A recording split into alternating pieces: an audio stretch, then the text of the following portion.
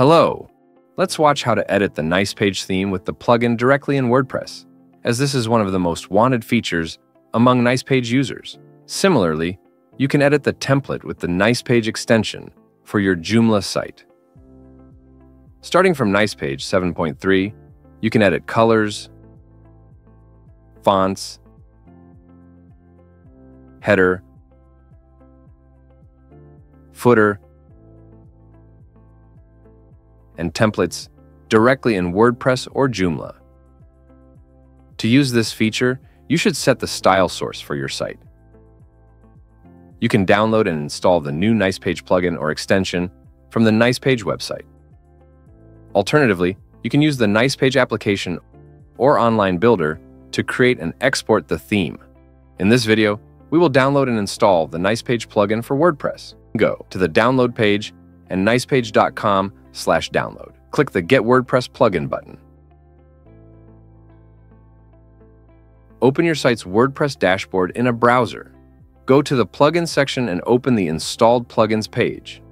Install the downloaded Nicepage plugin version 7.3 and higher.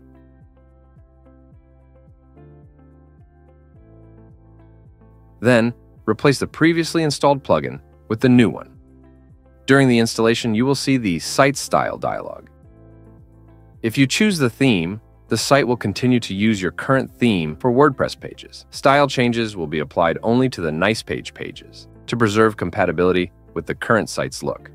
If you want to use the style editor fully, switch its source to plugin. Now you can change the colors, fonts, header, footer, and templates for all site pages, including the blog and other WordPress pages.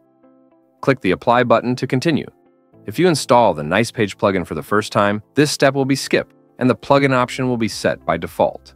However, you can change this option anytime in the Nicepage settings.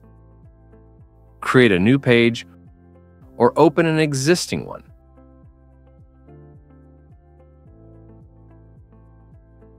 Let's change the header. For example, choose a preset with the search element.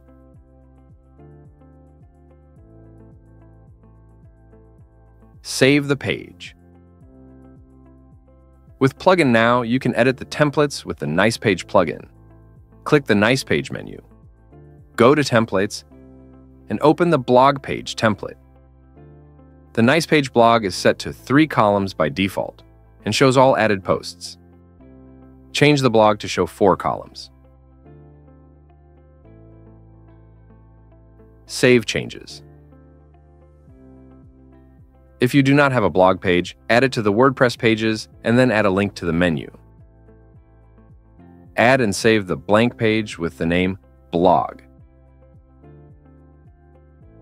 Verify reading settings. On the WordPress dashboard, open the Settings, then the Reading section. Choose your homepage to show the home and your post page to show the blog. Set the blog page to show four posts at most. Open the Appearance menu and add the block link to the primary menu. Click the Visit Site link at the top to open your new site.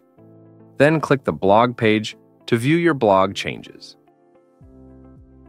Return to the WordPress admin, then open the Nicepage settings. You can change the site style source at any time. Again, with the plugin option, you can specify the headers, footers, colors,